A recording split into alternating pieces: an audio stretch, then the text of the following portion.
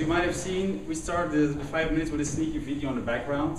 Um, some of you might are, are entrepreneurs and have been looking for business data of your customers, your prospects. Uh, if you're going to sign a deal with somebody, you want to know who's behind the company.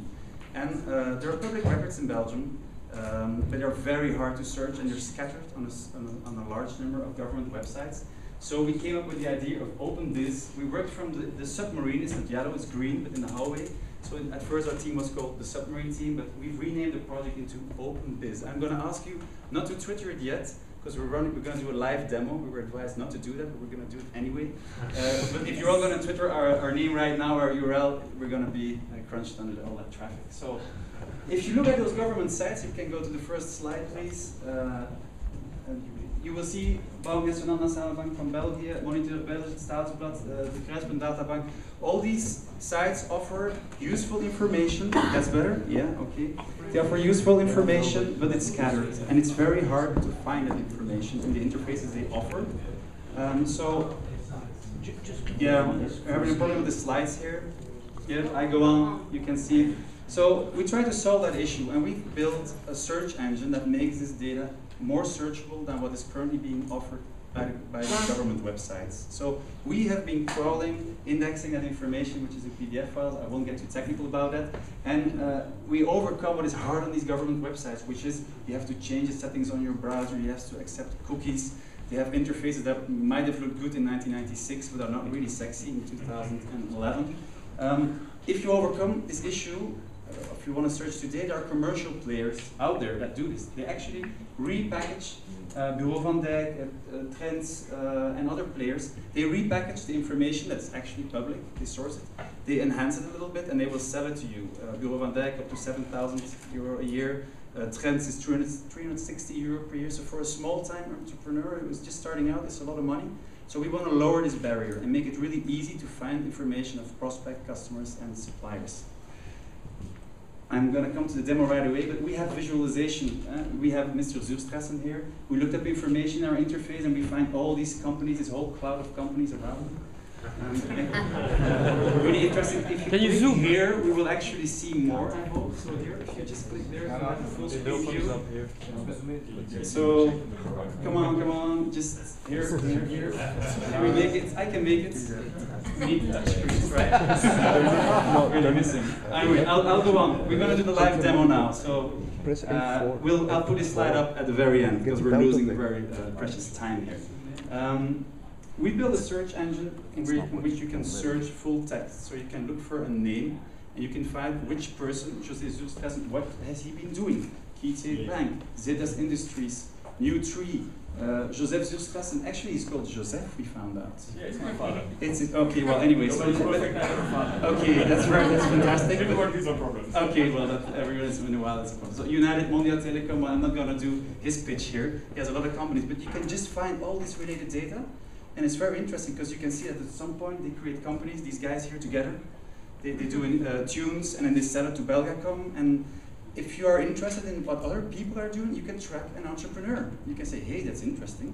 This guy is, is, is teaming up with that other guy that I know. Maybe I want to join a new project. Or, oh, that's a new competitor and they have a good track record. I, I should get into that. So this is our, this is where we've got. We've, we've got 14,533 public records.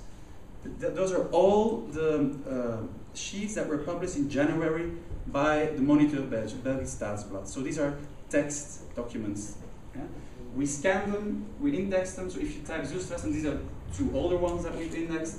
You immediately get the information and we hyperlink to the source document. We do not store, because there might be legal issues, we do not store this document. We link to the original source of this document. And that's very important to note. And here you can go and see what Monsieur Zuurstrassen José has been doing with early tracks. Yeah? That's correct? You did this? This is an authentic document? Wow, good. Search engine works. Yeah. So, uh, if we move a on, good scanner. let's go to the browser. We want to, we want to see, we don't want to see this type of sheets. We want to see a real demo here. Come on, come on. La, I launch that browser. Demo. Okay, just a minute. Okay, so we're in there. How are we going to make money if everything is free? This is about startups. We're going to offer alert services. You can actually say it's for free if you have up to five people or stakeholders you want to trace. But you say, hey, I want to get all my suppliers in there and know when something changes, they move an address or they have new shareholders or they have new directors, you get notified. Like you might get notified in LinkedIn and other services. That's where we want to make money. The information will be free, but you will get extra services on top of. That's a very hard That's the- battle we're Yes. to get. I was afraid I was a data police coming to arrest me, but that seems to be okay. so thanks a lot. Thank you all. We had an awesome team. We pulled this off into this. So just imagine what we can do if we had a little more time. Okay, so two minutes Q&A. Oh, okay. Q and A for the judges. Go ahead. We might have slides that, that already answer those questions, so let's get to the start. Go ahead. Any questions? So you, you're in the freemium model?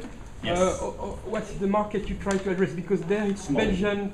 It's only Belgium Belgium because it's Belgian information, And so we how won't scale globally. What do you think? How many, you know, how many uh, small companies in Belgium? Yes, we have a slide on this, so please put it up there. What's your, hundred. No, we need to take those down, sorry. Sorry. Oh, that's too bad because we have the whole revenue model and everything in there. So we, we, we our revenue model was built on one percent of the Belgian companies using this service and using the freemium model. and paying how much? Paying of the small Belgian companies and um, the business model people jump in. What was the average we put in? I think it was five euro per month for already a very heavy package with a few hundred alerts that we will be receiving. That's a turnover of? Turnover, how much was it, guys? It was uh, quickly a few hundred thousand euro. Forty thousand, I think, after first. After the first year, that was scaling up to 200,000 in the third year. But we have very low costs, so we don't have to invest I anything. understand, but you won't scale much, you won't raise much. So the only way to, to scale this internationally is if you would sell the model. If you would sell the search engine to other governments, or uh, this is something the government should do. Uh, open this, this information or make it easier. Um, but I, I, I think that you could sell the crawling software. It's running on Amazon. We, we've done the 15,000 documents. With, with, you know, it cost six six dollar twenty cents to do this. That was the CPU cost of this whole operation. There's competition on scanning and indexing document of Belgian companies like Iris and many. Yes, we used You- an you open source library. yeah. We looked at the software. It was closed source, expensive software, the server-based version. the, what, what, what, Tesseract. So we use an open. It's actually the search engine that Google is using to index PDF files. It's open source. We use it. We compiled it. We put a little bit of logic in there, and it's running magically. You had a question there? Sorry, time's up, please. Time's up. Okay. I have a question. Thirty seconds. Uh, So you, you're trying to use the data available from, from different governments. Yes. How, how was your, um, how was your feeling about open data? Were they easy, easily accessible? Do you miss a part of it? No. How, how is the, how is the uh, practice of the government treating open data? now? Okay, so uh, this is a very interesting you bring this point up. So the data, they are there, 30 seconds, but you're not allowed to do what we've done. Yeah. And there's a huge gray zone in what we've done. So we think that we've not crossed this gray zone, but we've come acom- across disclaimers saying if you systematically do what we've done, you are up to I'm at five years prison. We joked about it. He Ramon answered, well, if you go to prison, it's like a co-working office, but you sleep overnight. but uh, we didn't want to cross that line. But at the same time, I'm- must be honest, many of those disclaimers also say contact us if you want to do stuff with this commercially. Only you can't see who you have to contact, and there's no contact numbers, and it was during a weekend, so that was even harder. But so, uh, no, the disclaimers say don't crawl us, don't systematically do this, but the information is treatable. Um, it's a pity, it's XML, and then sometimes they, they hide the text layer, so we have to scan it and OCR it. It could just as well remain XML, and then we have the text from the OCR. But that's